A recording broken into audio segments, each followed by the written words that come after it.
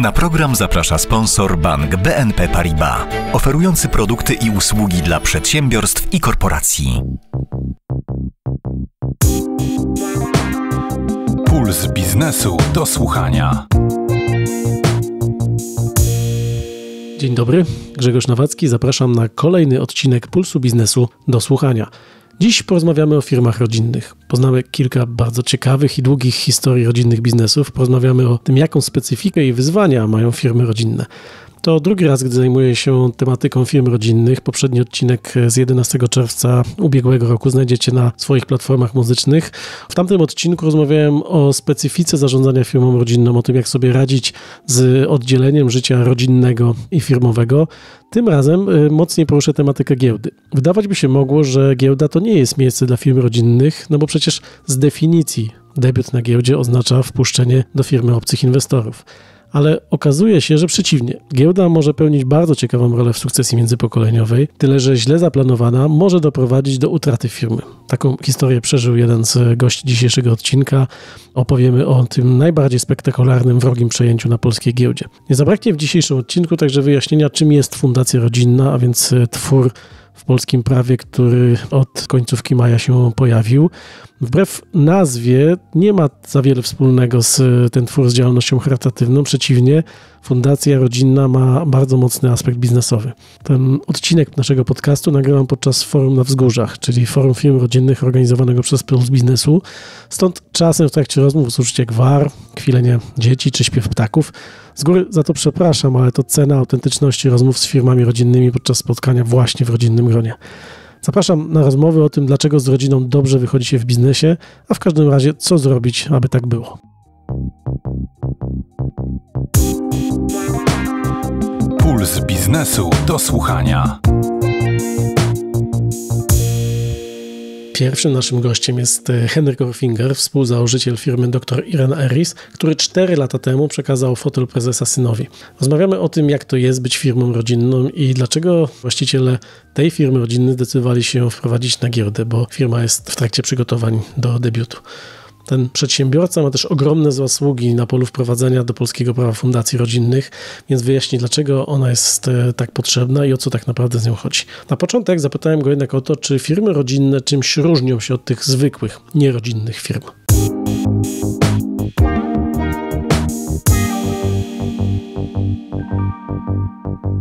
Różni się tym, że składa się z rodziny. To jest podstawowa różnica. Znaczy różni się oczywiście w sposób zdecydowany, ale ta różnica to jest inny sposób myślenia. To jest jakby kluczowa rzecz moim zdaniem, dlatego że jako biznes funkcjonuje tak samo. Musi produkować, sprzedawać, mieć marże odpowiednie i tak dalej. Natomiast buduje inne perspektywy przyszłościowe, czasowe.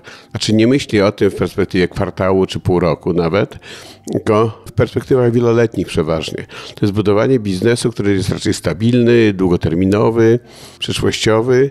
Inny sposób myślenia. To jest podstawowa różnica między firmą rodzinną, a nierodzinną. No i jeszcze są emocje, jak rozumiem, w zarządzaniu taką firmą, bo trzeba się dogadywać nie ze wspólnikami obcymi, tylko wspólnikami rodziny. To wygląda bardzo różnie, dlatego że firma rodzinna to nie jest model, który jest łatwy, prosty do określenia i taki jednoznaczny. Firma rodzinna to jest również taka, gdzie jest jeden zdecydowany przywódca i jego rodzina. I on decyduje o tym, jaki jest kształt, jaki jest rozwój, jakie są perspektywy i co będziemy dalej robili. Ale może też być model taki jak na przykład, nie chcę konkretnie podawać e, przykładów, tak, ale mam przyjaciela, który prowadzi firmę z żoną i ma dwójkę dzieci, a te dzieci mają małżonków i wszyscy razem są w firmie.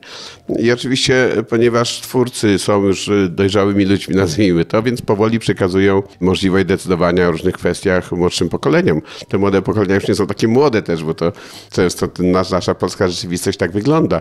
I wtedy powiedzmy to decyzje zapadają w szerszym gronie, ale bardzo często to jest jednoosobowa decyzja, mimo że firma jest rodzinna.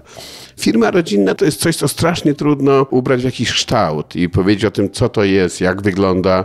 Pomysłów na firmę rodzinną może być naprawdę wiele. Ciężko jest odróżnić e, życie rodzinne od e, firmowego. Może w ogóle się nie da i przy świątecznym stole się rozmawia o inwestycjach. Ciężko. Jeżeli rzeczywiście w e, działanie firmy włączona jest większa grupa osób, to nie da się uniknąć rozmów o firmie również w domu, przy kolacji czy w czasie urlopu. Ja mogę powiedzieć, że ja jedyny urlop, który pamiętam długi, miesięczny, to był 89 rok, kiedy zabrałem żonę, dzieci i wsiedliśmy w samochód i po półrocznych przygotowaniach, bo wtedy wizy były potrzebne, objechaliśmy Skandynawię.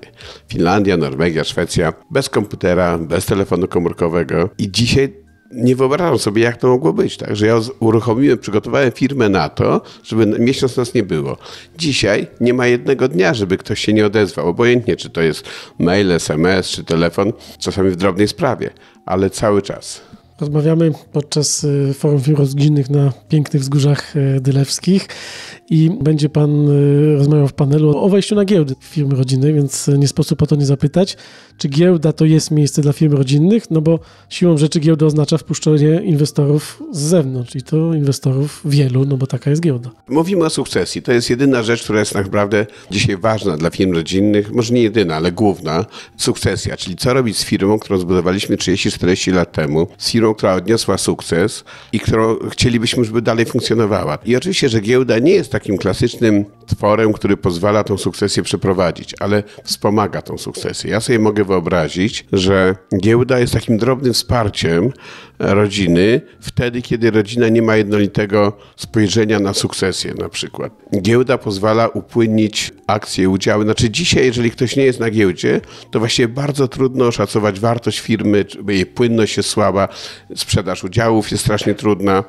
Natomiast jeżeli ma się kilkoro dzieci i każde dzieci ma inny pomysł na życie, to giełda jest takim sposobem na pozwolenie im, żeby poszli swoją drogą. No tak, bo ktoś może sprzedać akcję, a inny może zostawić. Na giełdzie można mieć 20-25% udziałów, a cała reszta może być w rękach rodziny na przykład. Giełda jest jakimś drobnym elementem, który wspomaga sukcesję. Natomiast nie jest na pewno narzędziem, które zapewni sukcesję. No właśnie, nie ma obawy, że zatracicie ten rodzinny charakter po wejściu na giełdę? Macie jakiś pomysł, jak zadbać o to DNA? Historia płata nam figle, tak? Życie jest nieprzewidywalne. W momencie, kiedy my rozmawialiśmy o giełdzie, wydawało się, że fundacja rodzinna nigdy nie powstanie. Ja akurat mam, mam dużą wiedzę na temat tego, jak to przebiegało, bo byłem współtwórcą naszego środowiska. I właśnie wtedy, jak dwa lata temu o tym rozmawialiśmy, to byliśmy pewni, że projekt fundacji rodzinnej na razie jest odłożony do lamusa, nie wiemy kiedy ujrzy światło dzienne. I wtedy wydawało nam się, ta giełda pomoże nam spełnić oczekiwania poszczególnych członków rodziny we właściwy sposób. Teraz, jak mamy już fundację rodzinną, to być może ja bym podjął inne decyzje, ale uważam, że nie możemy uciekać przed tym, co kiedyś zdecydowaliśmy. Znaczy, to trzeba teraz umieć odpowiednio złożyć razem, odpowiednio zorganizować i dawać i budować to tak, żeby wszyscy w rodzinie byli w miarę zadowoleni, bo nigdy nie będzie tak, że będą bardzo zadowoleni wszyscy, to jest strasznie trudne, ale żeby byli w miarę zadowoleni, czyli można zostawić tą giełdę jako taki drobny element upłynienia udziału akcji, a fundację traktować jako coś, co będzie budowało przyszłość dla naszych pokoleń w oparciu o większą część udziałów firmy. No właśnie, bo jesteśmy w takiej sytuacji, że na pierwszym forum rozmawialiśmy o tym, że fajnie jakby taka fundacja kiedyś powstała, na drugim rozmawialiśmy jakby było dobrze, żeby ta fundacja wyglądała, ta konstrukcja, a trzecie tak się złożyło, że jest no, niedaleko po tym, jak ustawa weszła w życie. Jakie są z Pana perspektywy największe plusy takiej fundacji i dla kogo ona jest dobrym rozwiązaniem? Ona, jak się okazuje, ma kilka plusów, tak? bo główną ideą powołania takiej fundacji, czy powstania regulacji, które dotyczą fundacji, było to, żebyśmy tworzyli wielopokoleniowe przedsiębiorstwa, żeby ta sukcesja nie powodowała, że majątek się rozejdzie, rozpłynie, że ktoś go sprzeda. Zostawiamy fundacji w jednym ręku. Fundacja jest takim strażnikiem majątku firmy, majątku rodziny i właściwie niewiele to zmienia w samym biznesie, dlatego że biznes, który stworzyliśmy, idzie obok, idzie tak jak szedł, lepiej, gorzej, różnie, a fundacja jest tylko miejscem, gdzie trafiają wszystkie nasze udziały i fundacja staje się takim strażnikiem tych udziałów i kimś, kto dba o właściwy rozwój firmy, tak jak właściciele, staje się takim właścicielem części udziałów, z reguły większościowych, które pozwalają na dbałość. W moim mniemaniu fundacja to jest przede wszystkim narzędzie do tego, żeby zadbać o kolejne pokolenia, które będą mogły korzystać z tego, co my jako fundatorzy zbudowaliśmy, co stworzyliśmy i co zapewnia dopływ gotówki do fundacji. Oczywiście dzisiaj rodzą się różne pomysły, bo część y, przedsiębiorców chce wykorzystać fundację jako taki drobny wehikuł podatkowy, tak? co uważam jest złym działaniem i psuje trochę pewną ideę tego pomysłu, tworząc zagrożenia, które może dostrzec na przykład fiskus tak? i nagle zmieniać regulacje. Zresztą to jest największy problem właściwie tego, co robimy, to jest pewna wiarygodność i stabilność prawa. Właściwie wiem już nawet z ankiet różnego rodzaju, rozmów różnego rodzaju, że wszyscy najbardziej się boją tego, że polskie prawo nie jest stabilne. I dzisiejsze regulacje dotyczące Fundacji Rodzinnej są bardzo przyjazne i bardzo dobre, ale większość ludzi nie wierzy, że to się nie zmieni. No nie chciałbym teraz tak właściwie wchodzić w politykę przy fundacjach rodzinnych, ale niestety to, co stało się z Lex Tusk, to jest kolejnym przykładem, że te obawy nie są nieuzasadnione. Tak, że może być regulacja, która wydaje się absurdalna. Co prawda fundacje rodzinne są na tyle niepolityczne i na tyle, wydaje się, pasujące każdej opcji politycznej. Każdy widzi jako pozytywne, jako dobre może nie będą mieszać, może zostają tak, ale zawsze istnieje takie poczucie, że a co będzie, jak zaczną coś psuć, co będzie, jak coś będą zmieniali, tak, więc istnieje pewne ryzyko. Ostatnie pytanie na koniec, bo pewnie wielu naszych słuchaczy działających w biznesie rodzinnych się zastanawia, co tu zrobić, jaki jest przepis na sukces firmy rodzinnej, jak to zrobić, żeby się po drodze nie pokłócić, nie rozwinąć, nie sprzedać firmy. Strasznie trudno. No my wchodzimy w tym roku 40-lecie. Zaczęliśmy jako mały zakładzik rzemieślniczy. Dzisiaj możemy powiedzieć, że jesteśmy już dużą firmą z wielką historią i silną marką. I nie, ja nie potrafię podać recepty, tak? To znaczy, po pierwsze, trzeba robić to, co chcemy robić i trzeba dążyć do realizacji celu, które sobie człowiek wyznacza, nie zbaczając, nie myśląc o chwilowych kłopotach, nie starając się dywersyfikować majątku, bo z boku coś tam się nagle pojawia ciekawego. Obrać sobie cel i go realizować, tak? I jeżeli dobrze to będziemy robili, to mamy szansę na sukces. A jak to zrobić, żeby w rodzinie się nie pokłócić? Znam dużo firm rodzinnych, gdzie nie udało się to, tak? Gdzie te rodziny się pokłóciły, małżeństwa się rozeszły, mimo że zbudowały całkiem przyzwoity biznes i, i świetnie im to szło. I czasami ten biznes rodzinny powoduje, że spaja jakby to małżeństwa, czasami rozbija. No nie, ma, nie ma recepty na to. Jak to życie? Mówił o tym Henryk Orfinger, współtwórca, współzałożyciel w firmie dr Jana Rys i współorganizator Forum Firm Rodzinnych na Wzgórzach Dylewskich. Dziękuję bardzo. Dziękuję bardzo.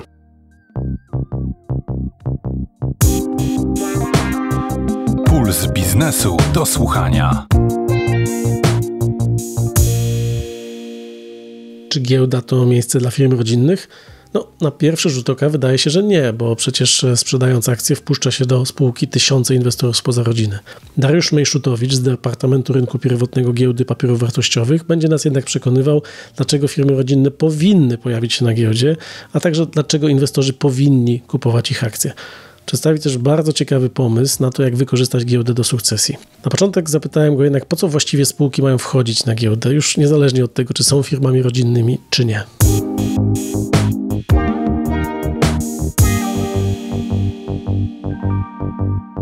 Przede wszystkim spółki przychodzą na giełdę po kapitał. To jest jakby główny powód wejścia spółki na giełdę i z tego spółki korzystają. Mówimy tu zarówno o finansowaniu poprzez emisję akcji, jak i poprzez emisję obligacji. Potem jak spółki już są na giełdzie, mają łatwiej w finansowaniu tym takim wtórnym, bo zarówno spółce notowanej na giełdzie łatwiej jest e, emitować obligacje, bo już inwestorzy znają tą spółkę, wiedzą co ona robi, jak się zachowuje na rynku publicznym, jak i w przypadku emisji wtórnych, bo na przykład 2022 rok był bardzo dobry, jeśli chodzi o emisje wtórne. Prawie 80 transakcji w całym roku na głównym parkiecie za około 9 miliardów złotych. Także przede wszystkim spółki przychodzą po finansowanie. Drugą ważną cechą, dlaczego spółki przychodzą na giełdę, to przy okazji debiutu chcą też zaoferować kluczowym pracownikom opcje menedżerskie. Spółki chcą, żeby ci kluczowi pracownicy byli bardziej przywiązani do swoich spółek, żeby pracowali tak jakby na swoim i dlatego spółki emitują opcje e, dla swoich pracowników, żeby ich związać, szczególnie spółki technologiczne. I trzeci powód, no to jest ta transparentność. Transparentność i jakby poznanie wśród inwestorów, bo spółka wchodząc na giełdę spełnia obowiązki informacyjne, czyli raportuje raporty bieżące, raporty okresowe i przez to jest znana zarówno tym inwestorom krajowym, zagranicznym. Mamy ponad tysiąc serwisów na całym świecie, które jakby zasysają te informacje i publikują to na, na swoich stronach i przez to spółka jest bardziej wiarygodna dla swoich kontrahentów, jak i potencjalnych kontrahentów. Z naszego pulsowego doświadczenia mogę potwierdzić, że dla nas spółki giełdowe są dużo bardziej interesujące w sensie tematów dziennikarskich niż e, spółki niegiełdowe, więc jest to taki darmowy marketing. Rozmawiamy po podczas forum firm rodzinnych na wzgórzach. Czy giełda dla firm rodzinnych to jest miejsce? Bo tak intuicyjnie myśląc, to no, wejście na giełdę oznacza wpuszczenie zewnętrznych inwestorów do firmy, to może to nie jest miejsce dla firm rodzinnych. Jak najbardziej spółki rodzinne są częstym gościem na naszym parkiecie. Proszę sobie wyobrazić, że na głównym parkiecie ponad 40% spółek, które są tam notowane, to są spółki rodzinne. To są spółki, które w swoim akcjonariacie 25% głosów należy do rodziny. Więc w sumie tych spółek na głównym parkiecie jest 166. I oczywiście spółka wchodząc na giełdę oddaje część swoich akcji nie rodzinie, więc ona jakby traci tą rodzinność, ale też zachowuje kontrolę. To nie jest tak, że spółka, która wchodzi na giełdę, traci tą swoją rodzinność, pojawiają się inni inwestorzy, ale generalnie władza w tej spółce pozostaje wśród rodziny. Giełdę można też jakoś wpisać w proces sukcesji, czyli przekazywania firmy między pokoleniami? Tak jak najbardziej. Ta sukcesja może być elementem wejścia na giełdę. Ona nie załatwi całej sprawy, jeśli chodzi o sukcesję, ale przede wszystkim zapewni takiej rodzinie płynność. Płynność i wycenę. Każdy z członków rodziny, który dostanie akcję po wprowadzeniu na giełdę, on wie, mm, jaka wartość ma tych akcji, ile tych akcji ma i może z nimi swobodnie dysponować. Nie tylko sprzedając te akcje na rynku wtórnym, ale równie dobrze może te akcje zastawić pod finansowanie dłużne i też to jest bardzo dobry sposób na to, żeby dalej jakby rozwijać swoją działalność. To prawda, bo tak sobie myśląc y, na najbardziej banalnym przykładzie, no to jeśli mamy kilkoro spadkobierców firmy rodzinnej, spadkobierców bądź po prostu sukcesorów y, jeszcze za życia założyciela, no i jak to w życiu, nie każdy musi być zainteresowany posiadaniem cały czas tej firmy, może mieć swoje plany biznesowe, no i wtedy decyzja o sprzedaży, no wiadomo, że sprzedanie, nie wiem, 5% udziału w spółce niepublicznej w zasadzie jest no, niemożliwe. Można liczyć tylko na to, że reszta rodziny odkupi te udziały, ale wtedy jest zawsze dyskusja po ile. No więc ta giełda roz, rozumiem, że rozwiązuje ten problem po ile, bo jest notowanie. Bo jest notowanie, dokładnie. Jest jeszcze jeden taki ciekawy case, bo w wielu przypadkach w Polsce spółka nie ma sukcesora. I tu jest problem, komu przekazać tą spółkę dalej. Oczywiście możemy ją sprzedać e, funduszowi lub innej osobie z danej branży, natomiast wtedy żegnamy się od razu z tą spółką. Możemy jakby przedłużyć sobie obecność w tej spółce, wprowadzając tą spółkę na giełdę, wycofując się do rady nadzorczej tej spółki zaoferować profesjonalnemu zarządowi opcję menedżerską i wtedy w ten sposób jakby kontrolować, być dalej w spółce, w spółce jakby w swojej rodzinnej, obecnej na giełdzie. To też jest takie ciekawe rozwiązanie, gdzie rodzina w sensie właścicielskim może niekoniecznie chce się rozstawać ze spółką, ale nie chce nią zarządzać, bo nie chce, nie potrafi, nie podejmuje się. Może zostać po prostu akcjonariuszem, wynajem zewnętrznych menedżerów, e, mieć kontrolę i transparentność, to ważne. Pytanie, czy giełda jest dla każdego? Czy są może jakieś branże, firmy albo cechy osobnicze właścicieli spółek, które sprawiają, że lepiej na tą giełdę nie wchodzić? Giełda jest dobra dla spółek, które mają pomysł na to, żeby być na rynku publicznym, bo nie na każdym etapie spółka nadaje się na rynek publiczny. Były przypadki, w których spółka można powiedzieć, za wcześnie weszła na giełdę i nie poradziła sobie z, z, tym reżimem bycia spółki publicznej, bo trzeba wiedzieć, że spółka wchodząc na giełdę musi podlegać raportowaniu bieżącemu i okresowemu i te raportowanie też jakby wymaga odpowiednich procesów i przez to spółki mogą sobie nie poradzić. Natomiast generalnie giełda jest dla wszystkich spółek, dla wszystkich spółek świadomych. Ważne, żeby ten proces wejścia na giełdę był świadomy, żeby spółka dokładnie wiedziała, co ją czeka, wchodząc e, na rynek publiczny. Na koniec e, takie pytanie, bo oczywiście firmy rodzinne są atrakcyjne dla inwestorów, bo to są często bardzo ciekawe, dojrzałe i dobrze rozwijające się biznesy, no ale każdy taki właściciel firmy staje przed e, opcją poszukiwania kapitału, może go wziąć z giełdy, ale może też się sprzedać do funduszu private equity, to jaka jest podstawowa różnica od czym warto pamiętać, wybierając którąś z tych dwóch dróg? Oj, to są dwie różne drogi, które być może kiedyś się połączą, gdyż private equity, fundusz, który nabędzie akcje od tej spółki, kiedyś też będzie musiał wyjść z transakcji i generalnie te fundusze private equity wychodzą poprzez giełdę. Różnica jest zasadnicza. Jeżeli wchodzimy na giełdę, sprzedajemy 20-30% swoich akcji dla inwestorów giełdowych, którzy są jakby inwestorami pasywnymi. I to mówię zarówno o inwestorach indywidualnych czy instytucjonalnych. W funduszu private equity taki fundusz na pewno nie będzie inwestorem pasywnym. Będzie chciał przede wszystkim pakietu, być może nawet kontrolnego, będzie chciał mieć swojego członka, czy to w zarządzie, czy w radzie nadzorczej i jakby wpływać e, na bieżąco w życie danej spółki. Więc jakby różnica między giełdą a private equity jest zasadnicza. Tu trzeba dobrze wybrać, która droga nam odpowiada. Czyli tak fundusz y, wchodzi do władz i dość y, mocno ingeruje i w strategię, i w jej egzekucję. No cóż, y, długo czekamy na warszawskiej giełdzie na jakiś fajny debiut. Doczekamy się w tym roku? O, ja mam nadzieję, że tak, że w tym roku otworzy się takie prawdziwe okno IPO. No mówi się dużo o takich dużych transakcjach. Być może to będzie końcówka roku, być może to będzie na następny rok, ale liczę na to, że, że te okienko IPO już niedługo się otworzy i będziemy mieli fajne transakcje na warszawskiej giełdzie. A skoro mówił tak Dariusz Mejszutowicz, wicedyrektor działu rynku pierwotnego, no to można trzymać za słowo. Dziękuję bardzo za rozmowę. Dziękuję bardzo. Puls biznesu do słuchania. Jak słyszeliśmy, wprowadzenie firmy na giełdę daje wiele korzyści. Między innymi pozwala pozyskać pieniądze inwestorów, którzy wierzą w nasz plan rozwoju. Gorzej, jeśli nasze akcje zaczyna kupować ktoś, kto uważa, że ma lepszy plan rozwoju.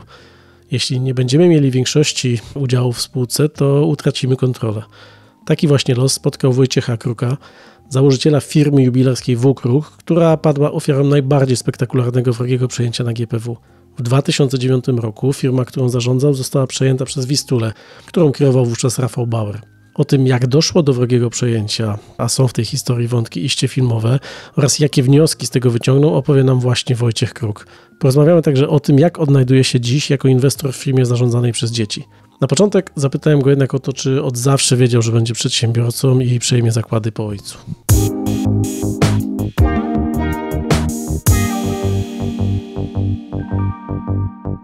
Mnie ojciec wychowywał na właściciela pewnie takiej 10-20 osobowej firmy, bo na tyle starczało wyobraźni w tamtych czasach. Natomiast wiadomo było, że poszedłem na studia, co w tamtych czasach w rodzinach tych umownie rzemieślniczych było rzadkością. Skończyłem studia, nie podjąłem pracy w sektorze państwowym, za to musieliśmy zapłacić 30 tysięcy złotych, bo to takie były, czyli powiedzmy pół malucha. No i próbował mi ojciec załatwić otworzenie własnego warsztatu. To w tamtych czasach było bardzo trudno, nie chcę się tutaj rozwodzić e, na ten temat. Mniej więcej za rok wyjdą moje pamiętniki, to chyba będzie z 500 stron, to będzie można to wszystko mniej więcej przeczytać. I nie udało się otworzyć tego warsztatu, ale ojciec miał drugi warsztat. Dzisiaj to się mówi, że miał takiego słupa. Nie? Jeden z ojca pracowników, jak były te ograniczenia, to ojciec załatwił i on miał warsztat. Nigdy nie wiedzieliśmy, gdzie się zaczyna jeden warsztat, gdzie zaczyna się drugi warsztat, kto u kogo pracuje, to tylko ci pracownicy wiedzieli. Ja zostałem wspólnikiem tego pana Kowalskiego, bo tak się nazywał. Natomiast w 72 roku, a studia skończyłem w 69, udało mi się w końcu po dużych bojach otworzyć warsztat brązowniczy. I znowu nie chcę opowiadać, jakie to były kłopoty, numery, bo to już Bareja się kłania, jak musiałem nie myć rąk, żeby mieć brudne paznokcie, żeby zdać egzamin, bo musiałem egzamin zdawać na podstawie świadectwa szkoły podstawowej, nie mogłem się przyznać, że mam maturę, ale broń Boże studia. Na egzaminie musiałem pomylić Cyrankiewicza z Gomułką, parę takich innych rzeczy i zostałem mistrzem rzemiosła brązowniczego. Chciałem otworzyć ten warsztat i to jest ciekawe też, pierwsze pismo, jakie dostaliśmy, to mniej więcej brzmiało tak, cytuję z pamięci, obywatel chce zatrudniać cztery osoby i produkować talerzyki miedziane. Biorąc pod uwagę skalę tej produkcji i napięty bilans metali kolorowych w naszym kraju, należy obywatelowi odmówić. Czyli jak pan widzi, produkując talerzyki, to zachwiałbym KGHM-em. No KGHM dopiero wtedy się rodził. Po roku jednak dostałem ten warsztat. W 74 roku poszedłem do taty z wielkimi wyliczeniami, bo byłem w końcu magistrem ekonomii. Mówię, tata, mi wychodzi, że tak tu tyle zarabiasz i mam taką sugestię, przejmuję oba warsztaty i będę tobie płacić emeryturę taką, jaką chcesz. Tata miał wtedy 71 lat i o dziwo zgodził się. Ustalił warunki i tak dalej. I tak od tego czasu zacząłem prowadzić oba nasze warsztaty i, i tak się zaczęło. Musimy zrobić e, szybką, takie są ramy naszego podcastu, bo to historia jest fascynująca, ale niestety musimy dość szybko przechodzić do historii współczesnej. 2002 rok jest wejście już wtedy znanej e, marki jubilerskiej na warszawską giełdę. Jaka to była wtedy logika, jaka była motywacja tego ruchu? No już musimy się cofnąć o parę lat. Po pierwsze w 1989 roku, jak wybuchła wolność, to we mnie się też odezwały takie geny społecznikowskie. I w 1989 roku po przemianach No premier Bielecki. Najpierw mówi, pan pociągnie naszą listę poselską. Ja mówię, ja się nie nadaję, poza tym nie mam czasu. Mówi, jak to? No, to, no wie pan, no może bym się zgodził jeszcze na senator, a tam senat to tam bez sensu, nie ma co do. No ale w końcu następny raz przyjechał do Poznania i mówi, no to co panie Wojtku, no to tym senatorem bym się zgodził. No to świetnie, to bardzo dobrze. Tylko wie pan, ja się boję jednej rzeczy. Czego? Że wygram te wybory i będę miał problem. No i tak przez 12 lat się woziłem z tym senatorowaniem. W związku z tym coraz bardziej zaniedbywałem ten warsztat. Zawsze sobie wyobrażam taką sytuację, że w poniedziałek wkraczając do firmy, przebiegałem na swoje drugie piętro i z każdego pokoju ktoś mi wychodził. Mówi, szefie, to tak. A ja mówię, to zrób tak. Szefie, tu tak. I potem usiadłem u siebie w gabinecie i mówię, kurde, ty trzy sprzeczne polecenia wydałeś. No i potem odkręcałem i szukałem czegoś. Wie pan, organizacja pracy okazała się w tej nowej rzeczywistości wcale nie była moją silną stroną. Ja nie miałem takiego talentu do budowania kadry menedżerskiej. I wtedy pierwszą ofertę dostałem od Polish American Enterprise Fund. Ja bardzo dobrze znałem, byłem w bliskich relacjach z profesorem Brzezińskim, właśnie przez to moje senatorowanie. Wtedy też działałem jeszcze też w tej Polskiej Radzie Biznesu i dużo rozmawiałem właśnie z profesorem, był u nas w Poznaniu tydzień i tak dalej, ze swoim synem. I on mówi, wie pan co, taka ta firma, taka tam, tam 8 sklepów czy coś, to by trzeba się rozwijać, bo to jest teraz jedyna szansa w historii. My mamy ten Polish American Enterprise Fund, niech pan się z nimi dogada i niech oni zainwestują w pana. No i się rzeczywiście dogadałem, oni objęli za 3 miliony dolarów 49% tych akcji. I było wiadomo, że jak już to A powiedziałem, no to potem oni będą się z tej firmy wycofywać. Albo poprzez sprzedaż inwestorowi strategicznemu, albo przez giełdę. No i sprzedali to przez giełdę i się zaczęło dalej. No. W tym czasie moje udziały trochę spadły, bo myśmy do firmy dołączyli Denikler, znaczy Amerykanie wnieśli Denikler. Potem ja też trochę coś tam jeszcze chyba sprzedałem, bo miałem jakieś swoje potrzeby i zostałem z 28%. No i kilka lat później poznał pan tą ciemną stronę giełdy, czyli tę sytuację, w której mając właśnie tylko 28% akcji, można się narazić na to, że ktoś skupi więcej i przejmie kontrolę nad firmą, która jakby nie było nosiła wciąż pana nazwisko. No i nosi do dzisiaj. I teraz jest oczywiście pytanie, czy ja zrobiłem dobrze, czy źle. Yy, mogę panu powiedzieć, gdybym ja był właśnie takim ostrym biznesmenem, bo jeszcze jedno trzeba powiedzieć, ja w 96 roku przestałem być prezesem firmy nastał, że tak powiem, profesjonalny zarząd. Prezesem został Jasiu Rosochowicz, który co przeszedł ogromną karierę w naszej firmie, bo właściwie zaraz po studiach przyszedł i przeszedł wszystkie szczeble i naprawdę był to genialny menadżer. I on właśnie tą firmę zaczął wyciągać, że tak powiem, w górę. A ja byłem szefem Rady Nadzorczej, bo ja byłem zawsze osobą niesłychanie kreatywną. Ja jestem takim niespełnionym artystą. Ja w ogóle w liceum jeszcze malowałem obrazy bolejne, myślałem, że może pójdę na SP, ale w końcu nie poszedłem. I stało się jak się stało. Natomiast gdybym właśnie był takim ostrzejszym biznesmenem, to ja bym się spokojnie wybronił bo ja bym powinien sam pojeździć po tych wszystkich funduszach i im to wszystko wytłumaczyć. I, ale tu się złożyła jeszcze jedna rzecz. Pół roku przed wrogim przejęciem prezes Rosochowicz powiedział do mnie, słuchaj Wojtek, nie gniewaj się, ale ja tam już zbliżam się do 40 parę lat, chyba przekroczył, ja się już trochę wypaliłem, ja już nie chcę. Zrozum, że ja będę w ciągu roku chciał zrezygnować. On się nieźle dorobił, były tam dwa pakiety menedżerskie w firmie i nieźle sobie na tym zarobili i chwała im za to, bo zarobili za odpowiednią pracę. I ja wtedy w tym momencie tego przejęcia byłem taki trochę bezradny, bo nie miałem już Rosochowicza w pewnym sensie. Jeszcze był oczywiście przy całym przejęciu bardzo, bardzo był pomocny i tak powiem prowadził, ale nie miałem perspektywy na takiego następcy prezesa, któremu mógłbym zaufać i z którym mógłbym pojeździć po tych funduszach i ich przekonać. Rozmawiałem właśnie jeszcze wtedy, bo już wiadomo, że wtedy Amerykanie już wyszli z tej firmy poprzez giełdę i rozmawiałem z ich prezesem i oni mówi mi jedną rzecz. Wiesz co Wojtek, to jest taka sytuacja. Ty grasz w brydże albo w szachy, a oni grają w dupnika, więc jesteś bez szans w tej grze. Więc jedyne co ci radzę, to bierz kasę i spierdalaj. No i zacząłem tak właściwie myśleć i mówić, cholera, właściwie, no, co mam robić? No i zabrałem te pieniądze i potem zaczął się problem, co dalej. I tu zrobiłem, wtedy mnie okrzyknięto bohaterem.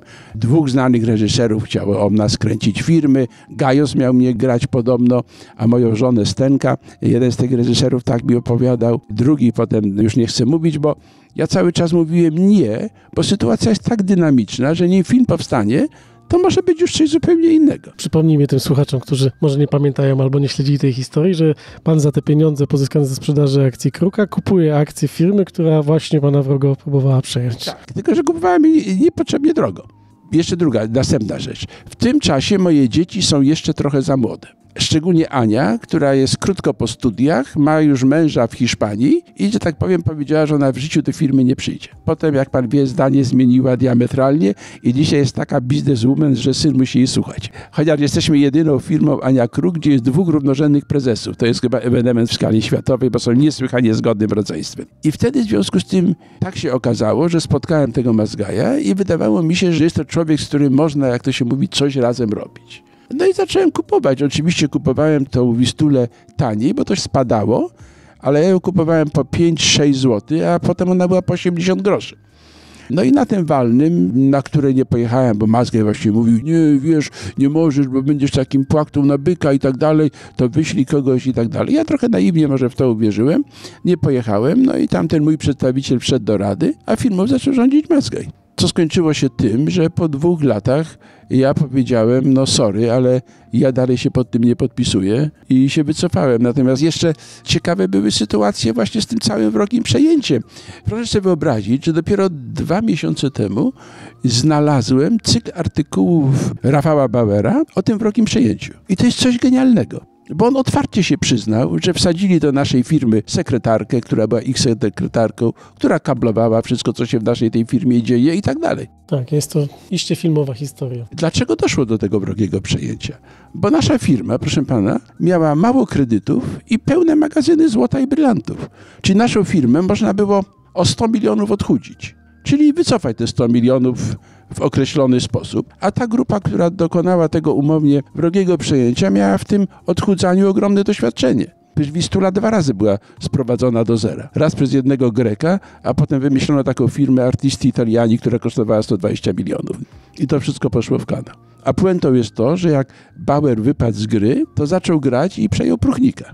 Jak przejął właśnie na tej zasadzie Pruchnika, to pierwsze co zrobił, do tego Pruchnika sprzedał swoją firmę Rage Age i wycofał z Pruchnika 16 milionów i następnego dnia ogłosił upadłość Pruchnika. No, wszystko zgodnie z prawem. Także przyzna pan, że po prostu granie dla mnie z takimi ludźmi, no, nie było przyjemnością i dlatego do tego doszło. No właśnie, ta historia wrogiego przejęcia jest smutna z jednej strony, ale z drugiej strony finansowo ma mały end, można powiedzieć. Dziś jest pan inwestorem w firmie córki. Tak, oczywiście.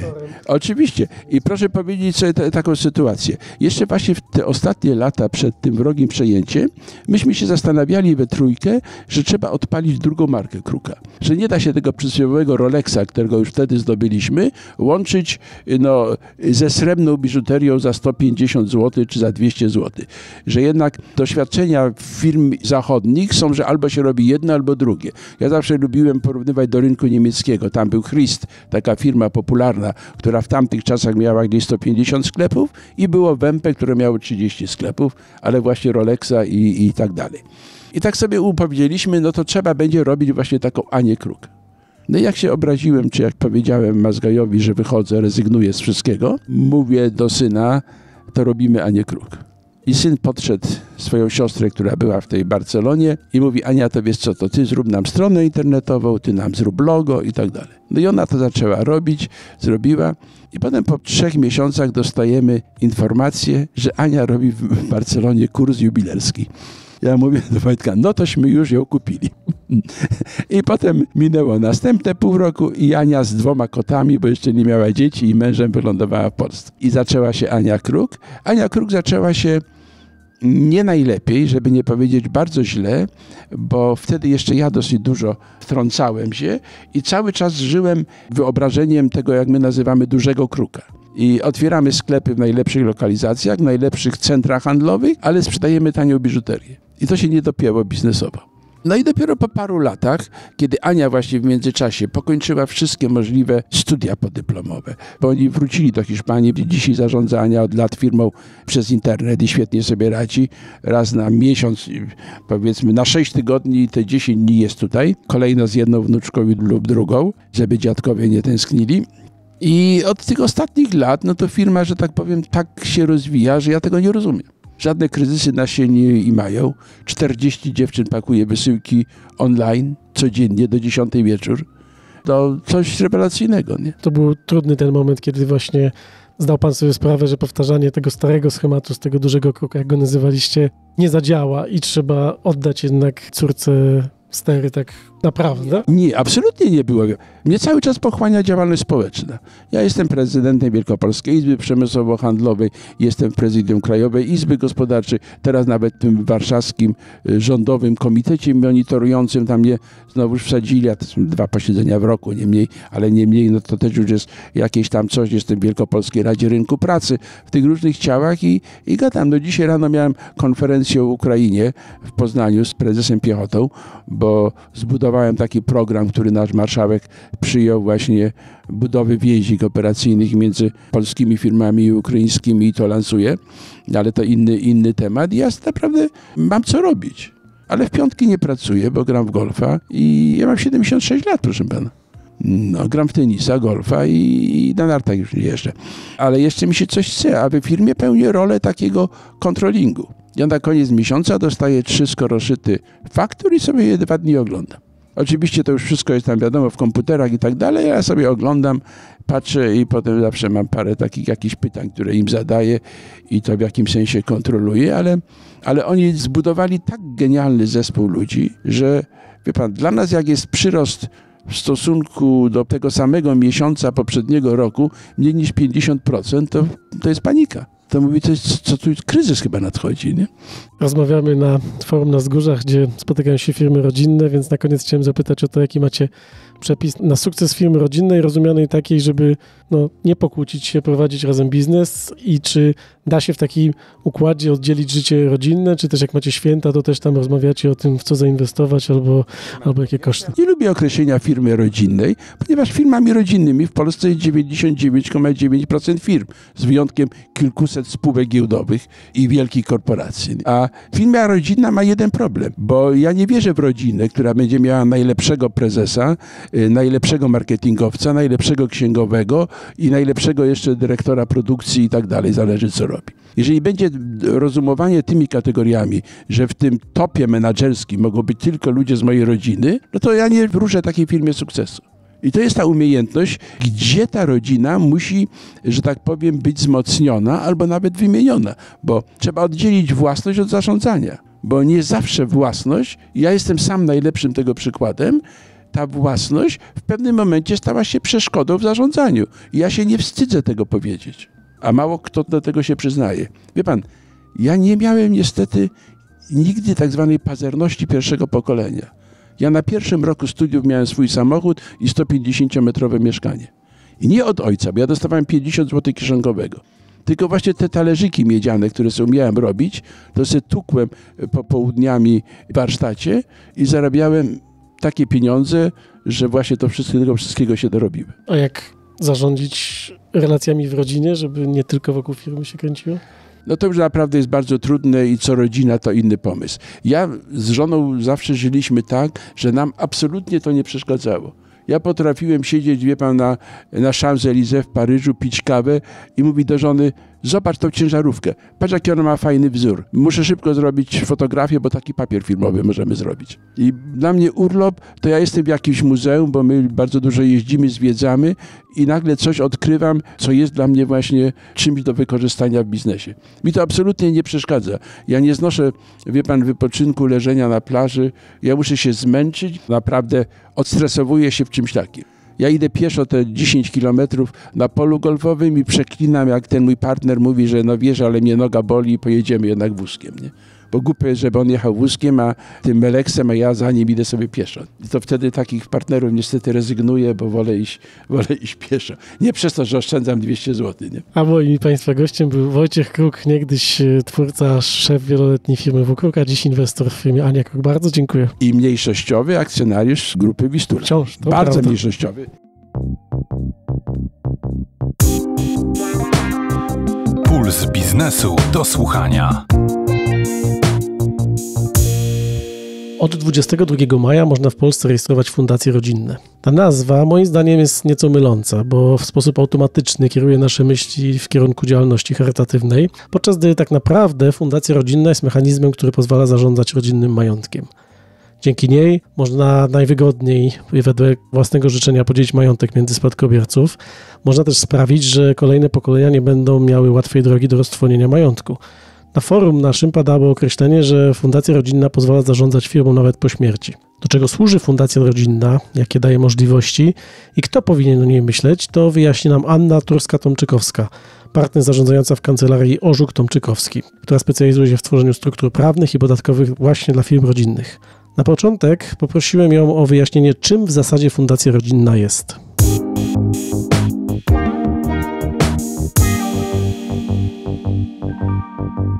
Po pierwsze, Fundacja Rodzina jest super nowym narzędziem, które otrzymali polscy przedsiębiorcy.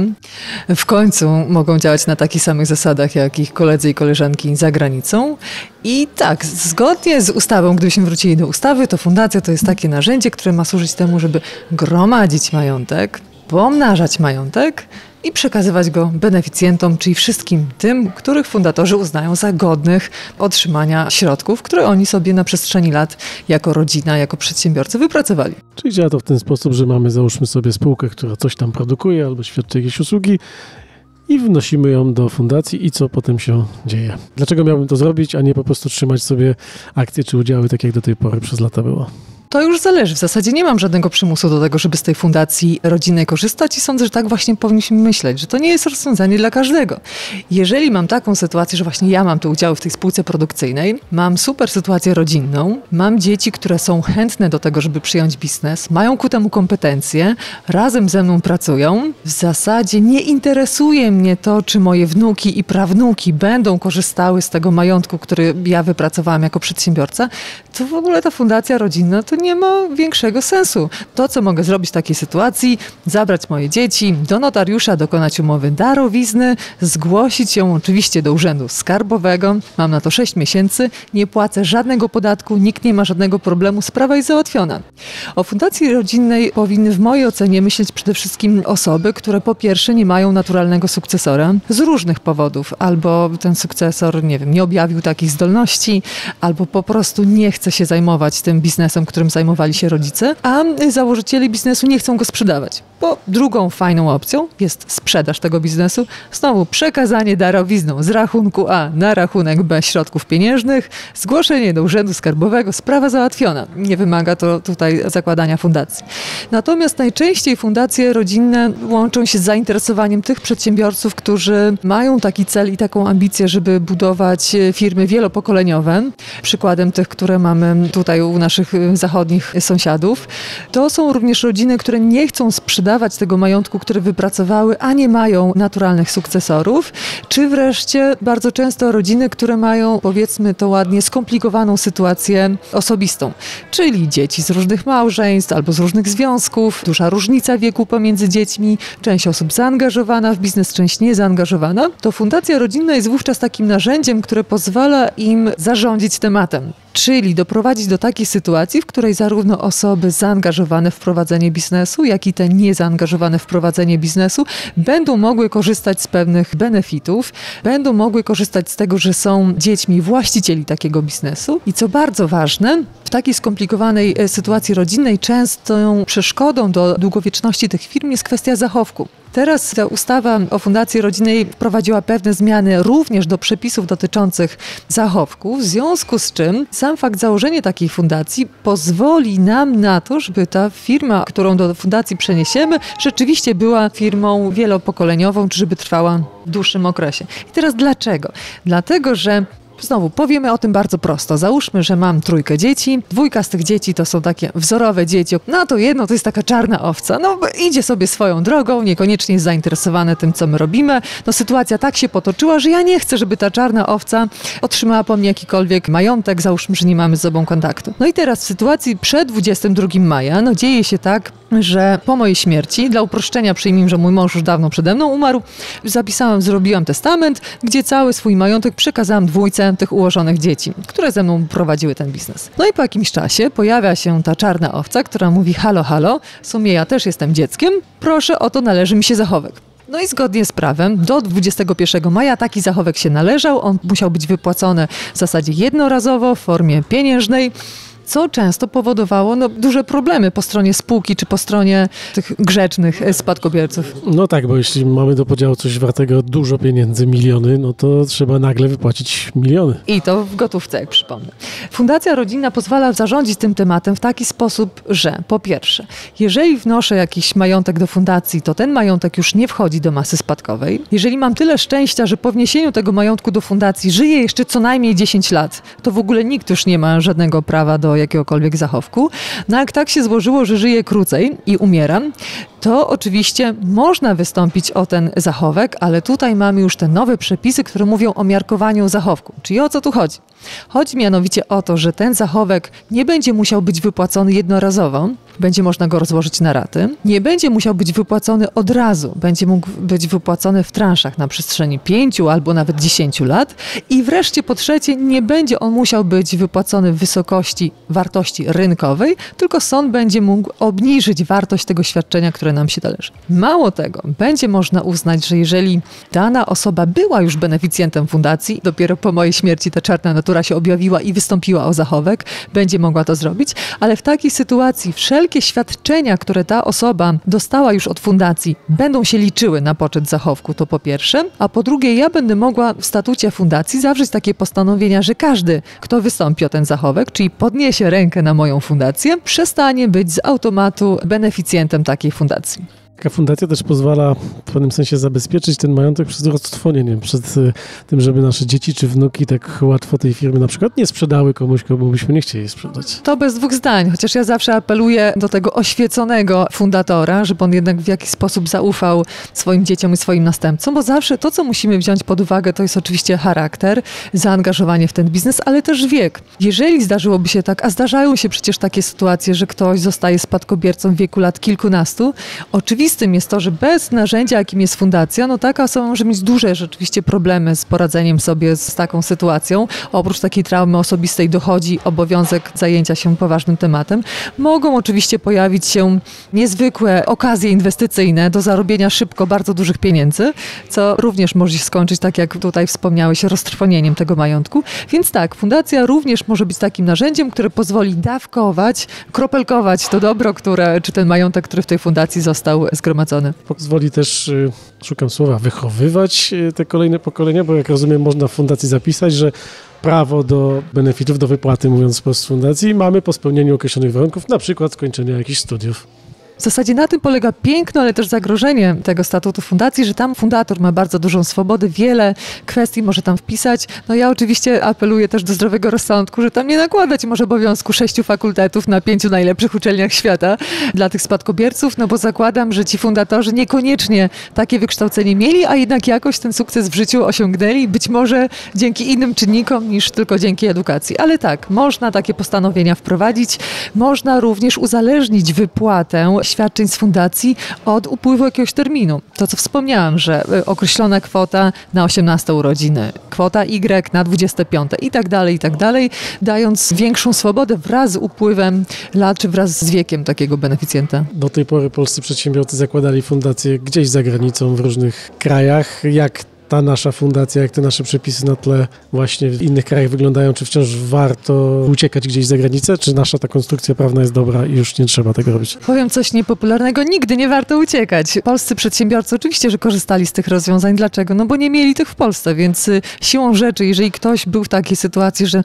musiał, z tych przyczyn, o których powiedziałam, potrzebna mu była fundacja, no siłą rzeczy musiał korzystać z tych rozwiązań zagranicznych. I tutaj znowu, polskie rozwiązanie jest bardzo dobrym rozwiązaniem. Jest rozwiązaniem korzystnym podatkowo, bez dwóch zdań, jest rozwiązaniem elastycznym i wynika to z tego, że my tutaj nie odkrywaliśmy koła na nowo, nie odkrywaliśmy Ameryki, po prostu przygotowując projekt tych przepisów, korzystaliśmy z tych rozwiązań za granicą, które już funkcjonują. Bo nie ma sensu jakby tworzyć rzeczy od początku. Mało tego, ta polska fundacja rodzinna w niektórych aspektach może być korzystniejsza od tych rozwiązań zagranicznych, chociażby ze względu na zakres dozwolonej działalności gospodarczej, którą może prowadzić i zwolnienie zwolnienia tej działalności z opodatkowania podatkiem dochodowym. Niemniej jednak zdarzy się zapewne tak, że część przedsiębiorców z różnych przyczyn będzie chciała korzystać z tych rozwiązań zagranicznych, chociażby dlatego, że u nas to prawo jest nowe.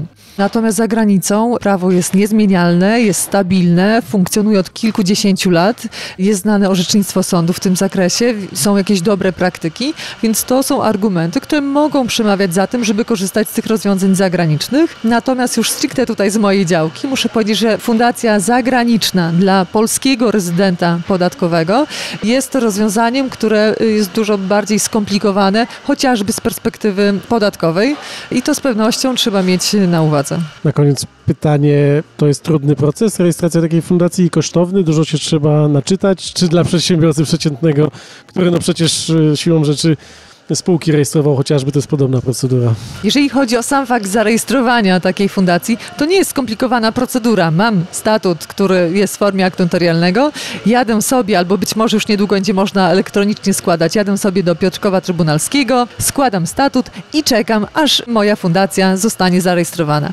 Cały klub polega na tym, że ten bazowy dokument, czyli ten statut, ale również te dokumenty okołostatutowe były odpowiednio przemyślane, przeanalizowane, uzgodnione uzgodniony w gronie rodzinnym, bo to jest to jądro, ta taka mapa drogowa, na zasadzie której będzie działała fundacja zarówno teraz, jak utworzę ją ja, jak i później, kiedy mnie już zabraknie. Więc jeżeli chcę, żeby tym moim spadkobiercom, tej mojej rodzinie żyło się dobrze i wygodnie, to powinnam po pierwsze to z nimi przegadać, po drugie pewnie zostawić im taką dozę mądrej elastyczności, aby oni chcieli z tego rozwiązania korzystać. No i tu pewnie docieramy do sedna całej tej sprawy, bo każda rodzina jest inna, każda firma firma jest inna i każde potrzeby i plany są inne, stąd pewnie każda fundacja będzie trochę inna. Dlatego to, co robimy, jest takie ciekawe. Tak jest. A mówi o tym Anna Turska-Tomczykowska, partner zarządzająca w kancelarii Orzuk i Tomczykowski. Dziękuję bardzo. Dzięki serdecznie.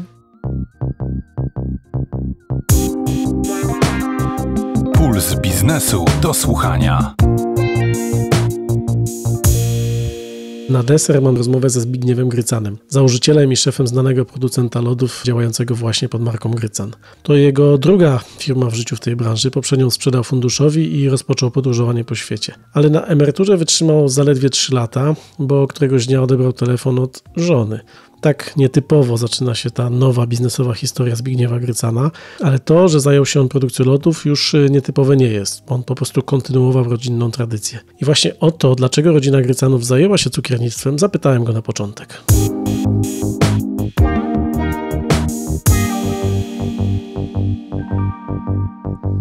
Szczerze mówiąc nie odpowiem, bo dziadek zaczął w XIX wieku.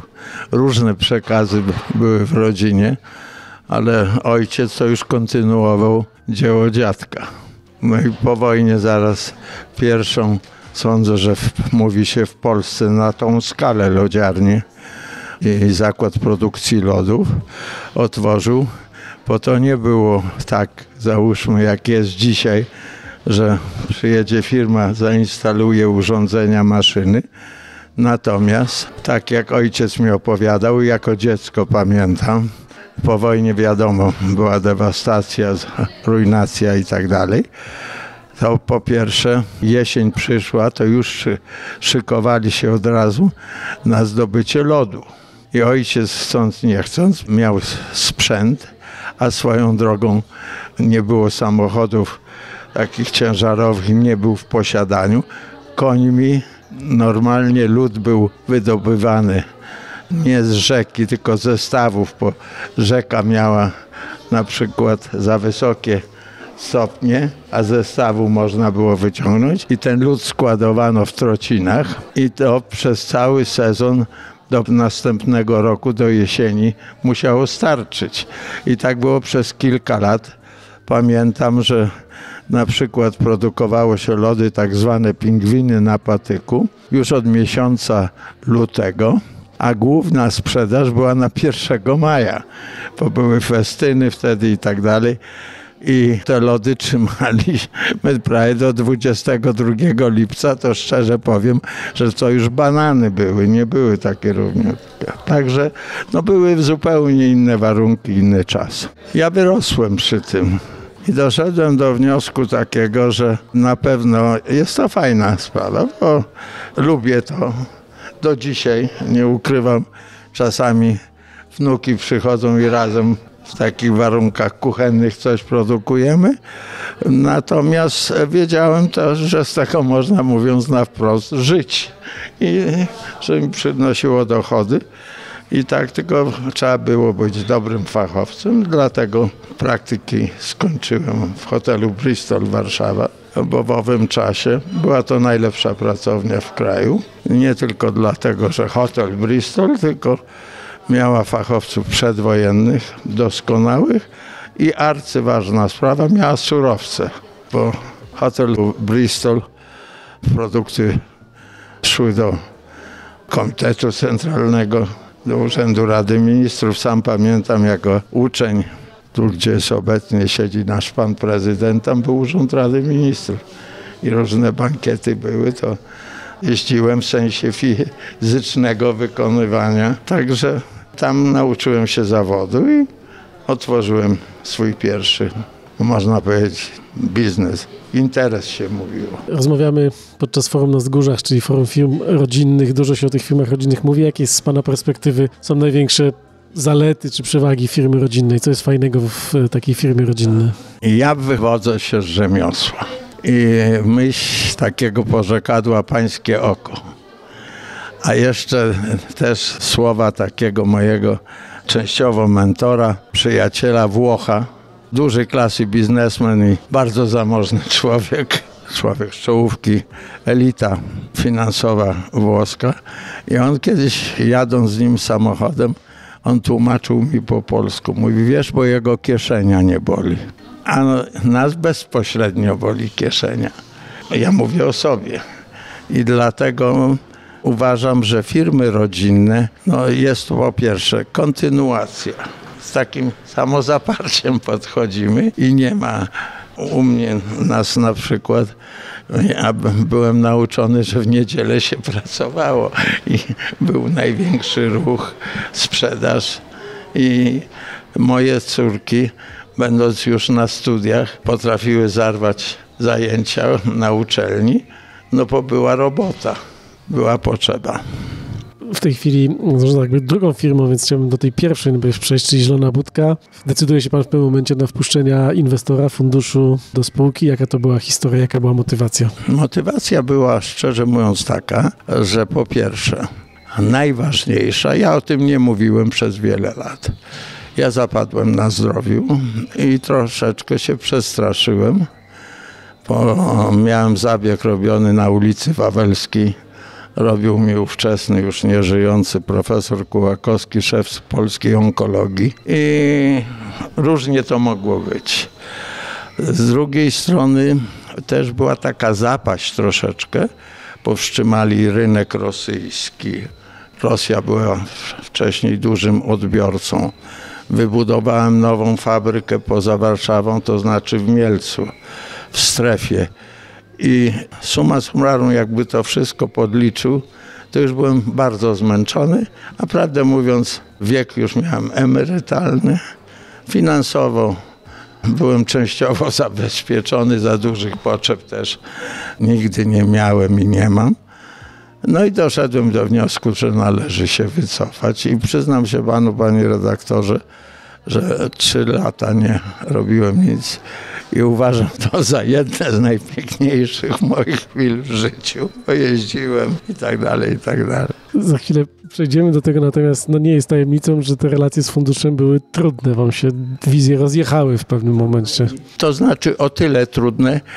Ja nie bezpośrednio nie uczestniczyłem w zarządzaniu i ja byłem przewodniczącym Rady Nadzorczej. I raz wskazałem to, co mi się nie podoba, mówiąc wprost.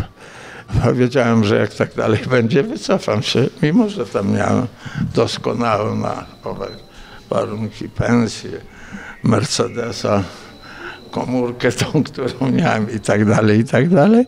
No ale nowszymi metodami chcieli zarządzać. Ja byłem przyzwyczajony i na drugim posiedzeniu bezwzględnie poprosiłem o zwolnienie mnie z tej funkcji, napisałem rezygnację i, i tak się nasza rola zakończyła, to znaczy moja.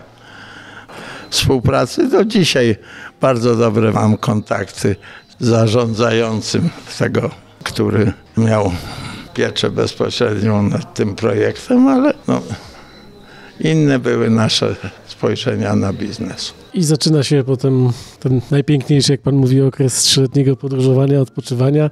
To co takiego się dzieje, że postanawia pan jeszcze raz wejść w ten sam biznes? To jak powiem, to jest tak, może być filmowa opowieść. Moja małżonka z córkami, małymi jeszcze dziewczynkami, był to rok 2001 chyba, pojechały do Zakopanego i dzwonią do mnie, mówię, słuchaj, tak leje, niesamowicie. Coś powiedział, jakbyśmy pojechały do Budapesztu. Ja mówię, jedźcie. No i dostaję telefon od małżonki z Budapesztu i żona takim głosem jakimś podniesionym. Ja mówię, co się stało? Od razu taka przyszła mi do głowy myśl, albo rozbiła samochód, albo ukradli jej samochód. Ja mówię, co się dzieje? Słuchaj, jesteśmy w kawiarni, jemy lody, takie lody jak kiedyś, zrób mi takie lody. Ja mówię, daj ty mi święty spokój, przyjedziesz zrobić ci te lody. No i żona wróciła. Może nie codziennie, ale w tygodniu kilkakrotnie przypominała mi to, co obiecałem. No i powstała firemka. Akurat wtedy już e, chodziliśmy do Unii, już inne przepisy były gabarytowo, już musiałem większe pomieszczenia i tak dalej. No w ogóle dostosować się do tych unijnych przepisów. No i powstała fabryczka, czy zakład w zasadzie. Wszyscy bliscy i konkurencja śmiała się, bo to tam już rynek podzielony dwa razy do tej samej wody się nie wchodzi, czy rzeki i tak dalej, i tak dalej. Systematyczną pracą powoli. Ja wierzyłem, moja rodzina wierzyła i jesteśmy tu, gdzie jesteśmy. To jest y, większy sukces niż, jak pan to mierzy, zbudowanie zielonej budki, czy zbudowanie jednak tej nowej firmy jest większym osiągnięciem, bo na trudniejszym rynku już? Tak, zielona budka była budowana w czasie, gdy rynek był producenta. Wtedy, ja mówię o początkowym czasie, co by pan nie miał, to pan sprzedał. Problemem były surowce, to był największy problem. A dzisiaj wszystkiego jest fur. Dzisiaj jest szalona konkurencja. Tamtych czasów do tych nie można porównać i dlatego wszyscy, nawet mi życzliwi, mówią, co ty robisz? Ładujesz pieniądze. Przepraszam za słownictwo, ale taka prawda. No i także mimo wszystko wierzyłem w to. No i powoli, powoli coraz większe rzesze klientów były. No i nasze lody są dzisiaj we wszystkich najbardziej prestiżowych hotelach, Marriott, Sheraton, no, Bristol i, tak dalej, i tak dalej. Galeria handlowych. W galeriach handlowych, no to jest inny rozdział. Także, że no, mamy rzesze duże klientów. Pracujecie rodzinnie z y, małżonką, macie jakiś y, patent na to, żeby oddzielić pracę od życia rodzinnego, czy to jest zlane jedno z drugim i nie da się rozdzielić? Przyznam się, że ciężko to jest. Teraz troszkę lżej z racji tej, że córki już doroślały. Jedna z córek pracuje z nami. Gosia jest dobrze przygotowana ekonomicznie, skończyła SGH, zagraniczne studia. No jest dobrze przygotowana, tak ja przynajmniej przynajmniej uważam. Magda natomiast jest pracownikiem naukowym na UW, pracuje cały czas nad habilitacją i innym świecie żyje. Ale co prawda lody ma, także może korzystać, ale prawda jest też taka, że nie da się uniknąć. Telefon zadzwoni. My jesteśmy wręcz nauczeni tym, że cały czas trzeba być na posterunku. Plany biznesowe jeszcze jakieś są, czy już pan jest zaspokojony, czy jaki jest teraz etap firmy? Na pewno chcielibyśmy spokoju więcej, bo trzeba powiedzieć otwarcie, że dzisiaj jest trochę tak zachwiane to wszystko i mówię o prowadzeniu firmy. Był ład, jest nieład. Codziennie coś nowego i także człowiek staje, nie wie co będzie. Robi się budżet, budżet się wywraca i tak dalej, i tak dalej. Córka przejmie zarządzanie firmą? Córka jest prokurentem. Cały czas pracuje. A co będzie, panie redaktorze, to ten na górze wie tylko. Na przykład przyszedłem w przerwie na górę włączyłem telewizor, zobaczyłem, że jest z tyłu zwrot z poniedziałku. A o tym mówi Zbigniew Grycan, e, założyciel firmy i szef e, firmy Grycan Lody od pokoleń. Bardzo dziękuję. Dziękuję.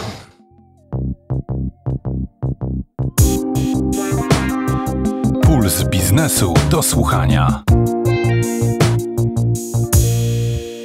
Muszę przyznać, że bardzo lubię rozmawiać z przedsiębiorcami, właścicielami firm rodzinnych. W tych rozmowach czuć dużo większe emocje związane z e, prowadzeniem firmy niż w przypadku, gdy rozmawia się z wynajętymi menedżerami. Te rozmowy często opisują też niezwykle ciekawe historie rodzinne, ale i biznesowe. Mam nadzieję, że udało Ci się dziś poczuć trochę tego klimatu. Wszystkie odcinki Pulsu Biznesu do słuchania znajdziesz w swojej aplikacji muzycznej lub podcastowej, a jak znajdziesz, to dodaj proszę nas do ulubionych czy obserwowanych. Nam pozwoli się to rozwijać, a Tobie ułatwi znalezienie kolejnych odcinków. Za tydzień gospodarzem naszego podcastu będzie Marcel Zatoński, który zabierze nas do Rumunii. Opowie o potencjale tamtejszej gospodarki i poszuka odpowiedzi na pytanie, dlaczego coraz więcej polskich firm decyduje się tam inwestować. A ja mówię już do usłyszenia. Puls biznesu do słuchania.